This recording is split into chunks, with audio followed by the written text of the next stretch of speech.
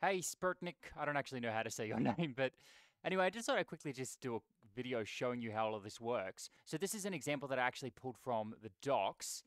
And notice that we've got OK here, so we're changing the OK button. These are actually all attributes on the Q button component. So at the moment, push is set to true. If I were to set that to flat, which is one of the options that you can see in the docs, then that's going to change it to flat. Oh, let's try that again. Yeah, you might have to wait a while for it to refresh or like to refresh the page because every time you click on this button, it's basically running that code again. Um, so it's not going to happen, not going to update live. Yeah, so we've got flat. You can do stuff like changing the label. So something like, oh, good. Once again, I have to wait till it's all loaded. Yeah, so we have total control over that. Let me just show you a couple of other things you can do, just in case you don't have experience with this API. We could say secondary to give it the secondary color. Save that. And there we go, changes the color. So there's, man, there's, there's actually heaps we can do. We can change the icon. I don't think it currently has an icon at the moment, so we could make it um, edit, or I think it's create, which gives us like that little pencil icon. There we go. What else can we do? We can also give it some padding. So maybe medium, so we can use Quasar's default medium padding value. And that works. Or we could give it like uh, our own set of pixels, like 34 pixels or something like that. That's also going to work for us.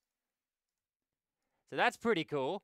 What else can we do? We can also make it disabled. This could be useful if like you want to load something and make sure that they don't click on it again.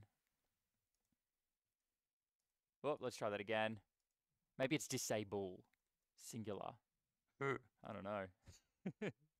let's give that another try with disable. Otherwise, looks like I need to check the docs to make sure I've got it right. Nope. All right, let's just ignore that one for now. I'll dig into that.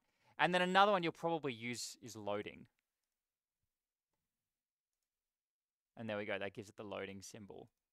Yeah, so I thought I'd just give you like a quick rundown of some of the stuff you can do. Also, what you can do is you can actually feed it your own dialogue. Let me just quickly check how you do this in the docs.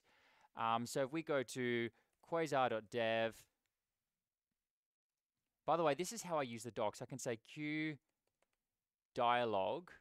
So that's going to give me the component for dialogue, but we've also got dialogue for plugins.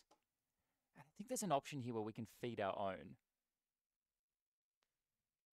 Um, yeah, here we go. If we say component, we can actually make our own dialogue component, which means we have like all of that flexibility of Quasar available to us. And if we import that, then we can use it.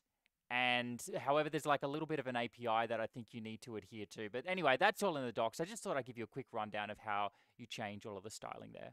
Hope you found that useful.